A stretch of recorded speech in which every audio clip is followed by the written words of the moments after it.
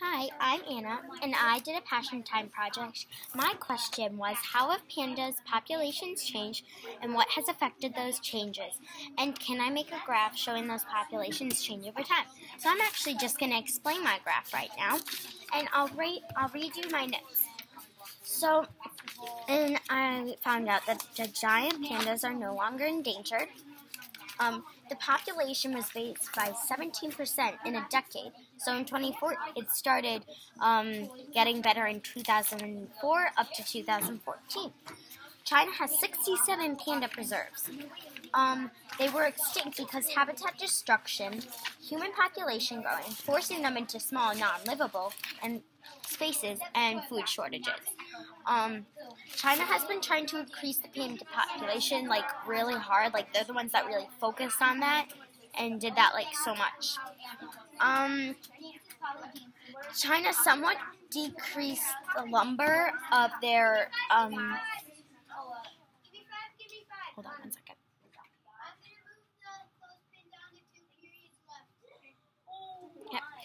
And so um, China somewhat decreased the lumber, which means they um, um, they got ri- they really like stopped cutting down and moving their spaces where the pandas live, and then also um, and the fossil fuels, which the fossil fuels are the gas that's being produced by the cars, trains, all that stuff, the airplanes. But I don't think they really decreased the airplanes or the um, cars or the. Um, I think they just decreased like factories and stuff. Um, they knew the number was going down, so China, um, so they stopped invading their habitat, and um, sorry, I can't. Um, so they stopped invading their habitat at like they didn't invade it as much as they usually do. Um, many local communities came together and fund the giant panda to stop being endangered. So what they did is they probably had like a bunch of websites going on, and they people put money towards saving their places by making other panda preserves, like how China has 67 right now, and um, they still remain young and threat because they are not um not like they're not endangered, but they are vulnerable, which means they're close to being endangered. Um, so the population went from 1,596 to 1,864 pandas in the wild. I'm talking about the wild. Some reasons why they got killed is that people tried to get their skins to sell it and make money. Um, and they got killed and shot because they I don't know. People just do that stuff.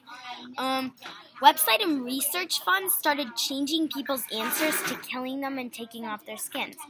So that means that um, they started like making all these websites and research and like all this stuff that was about the pandas and not killing them so they wouldn't be endangered anymore.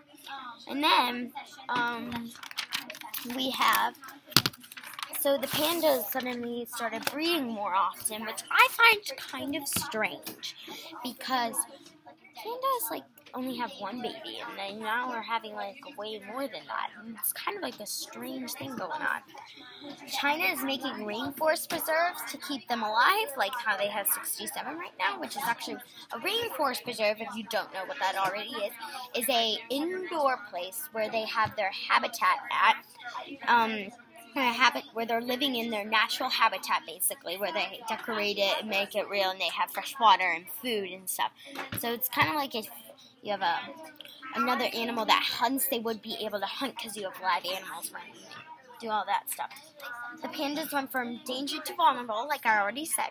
Um, and in 1974 to 1977 there were 2459 pandas in the wild.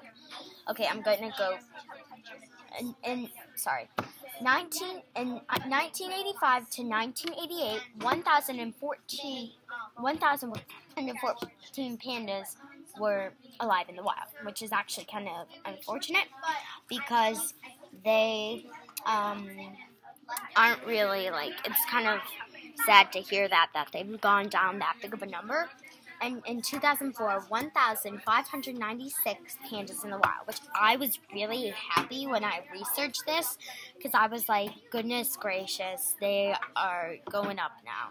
And then, and um, now there are 1,864 pandas in the wild, which actually makes me really happy now.